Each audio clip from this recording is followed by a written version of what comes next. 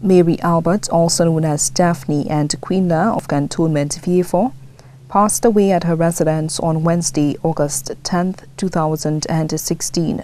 She was 79 years. The funeral arrangements of the late Mary Albert, also known as Daphne or Quinla, will be announced in a subsequent broadcast. The body now lies at Rambali's funeral parlor, Latuni, V4.